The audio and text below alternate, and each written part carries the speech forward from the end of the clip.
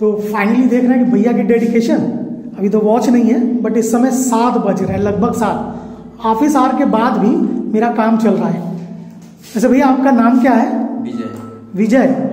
तो ये देखिए अभी मेरा एक काम चल रहा है लगभग मेरा मोबाइल कंप्लीट हो गया है। भैया ये जो इशू था मेरा टाइपिंग का तो वो क्लियर हो गया? हाँ सर वो क्लियर हो गया बस रिसॉल्व कर दिए हैं हमने। अभी थोड़ी देर में आप चेक कर सकते हैं। अच्छा वैसे इशू था क्या? वो सॉफ्टवेयर इशू था। हार्डवेयर नहीं? नहीं नहीं सॉफ्टवेयर इशू मुझको लगता था कि ये हार्डवेयर इशू है। नहीं नहीं सॉफ्टवेयर इशू है रिसॉल्व हो गया है। अच्छा ये कंप्लीट हो गया। कंप्लीट हो गया बस। तो इसको आपने पूरा कंप्लीट कर लिया अभी कुछ बाकी है? नहीं कंप्लीट हो गया। फाइनली ये देख सकते हो कि मेरा मोबाइल और ये पासवर्ड भैया ने डाला है। तो अभी टाइप करके देखेंगे कि वाकई में काम कर रहा है कि नहीं। तो अभी एक हाथ से तो करना थोड़ा मुश्किल है फिर भी A B C D type करते हैं। तो आई थिंक लग तो रहा है कुछ ठीक ठाक हो गया है। तो थैंक यू भैया इसको कंप्लीट करने के लिए और ऑफ़िस आवर के बाद आए हैं तो ये मुझे बहुत अच्छा लगा।